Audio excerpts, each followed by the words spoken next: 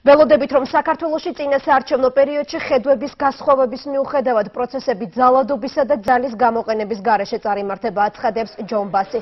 მოახლოებულ საპარლამენტო არჩევნებზე დღეს ამერიკის ელჩმა პრესკონფერენცია მოაწყო.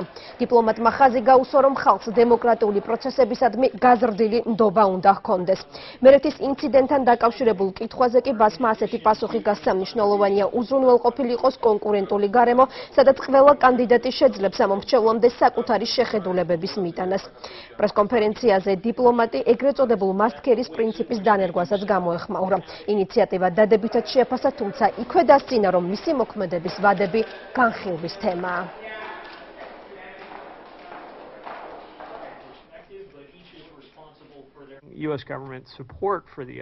ამერიკის შეერთებული შტატების მთავრობა მხარს არ უჭერს კონკრეტულ კანდიდატს და პარტიას მიმდინარე საარჩევნო პერიოდში. დახმარების პროგრამები, რომლებსაც შეერთებული შტატების მთავრობა ახორციელებს საქართველოში, მიმართულია ამ ქვეყნის ხალხის ხელშესაწყობა და დემოკრატიული კულტურის გასაღრმავებლად.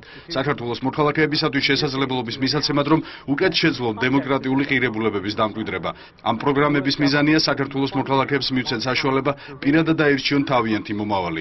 ჩვენ შევუწყობთ ხელს საქართველოს საქართველოში გრძელვადიანი დამკვირვებლების მისიის მონაწილეობას NDI-ის და AIRA-ის მონაწილეობით.